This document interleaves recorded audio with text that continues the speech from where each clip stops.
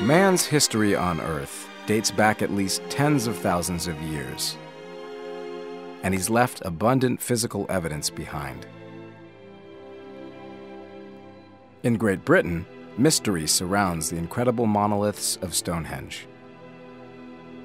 While in Central America, the magnificent ruins of the Mayan civilization had been all but swallowed by the jungle until their discovery in the 1800s.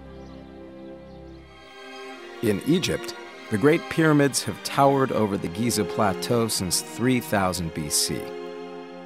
And in the American Southwest, the Anasazi Indians left behind amazing cities built into sheer cliffs. But who were the people who built these extraordinary monuments? How did they live? How did they die? What did they believe in?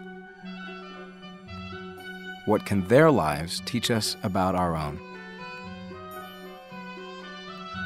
These questions have fascinated man for centuries, and these are the questions that archaeologists try to answer. We only have historical documents going back to, oh, about 3200 BC. For the entire period of human prehistory, which extends back uh, uh, tens of thousands, possibly even a couple hundred thousand years before that, we must rely on archaeology for everything we know about ourselves and our origins.